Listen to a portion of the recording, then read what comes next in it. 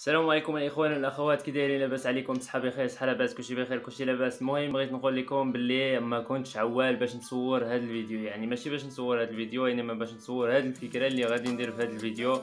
كنت باغي ندير واحد الفكرة أخرى في فيديو ولكن واحد جوج دراري خرجوا علينا يعني ما جاوش الحصة الرياضية داكشي علاش؟ ومن بعد اتفقت مع واحد واحد البطل ديالنا اللي حتى هو كيتريني معنا باش نصوروا الفيديو أنا وياه. هذا الفيديو ولكن حتى هو ما جاش ولكن معليش حتى واخا ما يجي حتى واحد أنا كاين هنا وغادي نصور هذا الفيديو باش ما كان. المهم اخوتي خليكم معنا وخليكم مع الفيديو ديالنا. وغادي تلقاو ال lien ديال الانستغرام ديالنا وتاع page فيسبوك تاعنا في ال description خليكم مع الفيديو من بعد ال intro على السير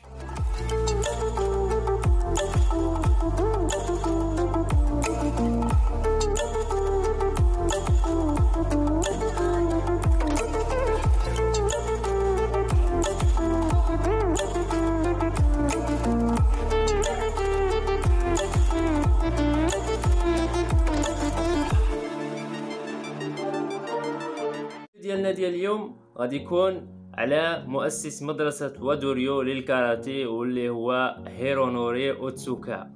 تزاد أوتسوكا هيرونوري في اليابان في 1892 ميلادي. ملي كان عنده خمس سنين بدأ يتريني الجوجيتسو.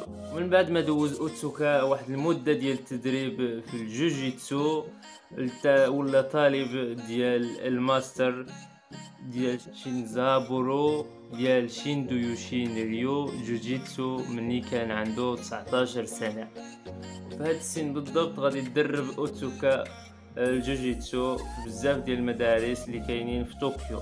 ولكن المشكل أو الحادث اللي وقع هنايا هو مني كان كيقرأ في هاد المدرسة ديال جوجيتسو غادي توقع واحد المأساة اوتسوكا اللي ما كانش في الحسبان.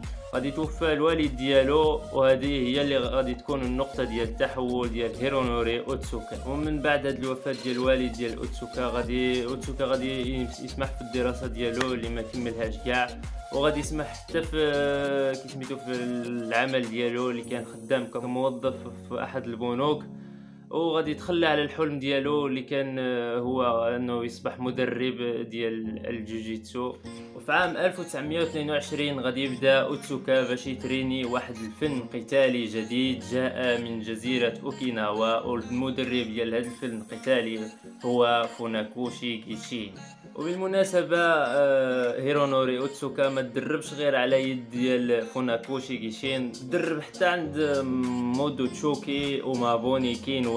وتعلم بهم وتعلم منهم بزاف ديال. ديال التقنيات ديال الكاراتيه ومن بعد ست سنين غادي يولي أوتسوكا هو المساعد ديال المدرب في المدرسة ديال الكاراتيه سي أوتسوكا كان زعما واحد التلميذ اللي مجد وطموح وك ولقى شي حوايج ما لقاهمش الأستاذ ديالو اللي هو فوناكوشي كيشين كيعرف شي حوايج ما كيعرف يعني كيستخلص شي حوايج ما كي ما ما يقدرش عليهم فوناكوشي كيشين. ولهذا من بعد 12 سنة ديال التدريب في 1934 واللي غادي يسميها على آه، بالتسمية ديال دايني بوم كاراتي شين كوكاي. فهاد المدرسة غادي أوتسوكا غادي يدمج ما بين التقنيات اللي تعلمهم في الجيجيتسو وداكشي اللي تعلمه في الكاراتيه وغادي يكون أسلوب ديالو الخاص اللي غادي يسميه الوادوريو 1940 ودابا الوادوريو راه واحد من أهم الأساليب أو المدارس اللي كاينين في الكاراتيه بالجانب ديال الشوتوكان والشيتوريو والجوجوريو. ومن بعد أوتسوكا غادي يضيف الكاتا اللي اكتسبها في رياضة أو style ديال الشوتوكان. اللي تعلموا من فوناكوشي كيشين اختار باش يطلق عليهم الأسماء ديال أوكيناوا الأصلية. مثلا في الوادوريو كاين بينان شودان في الكوشا في شوتوكان كيسميوها هيان نيدان. في الوادوريو كاين بينان نيدان.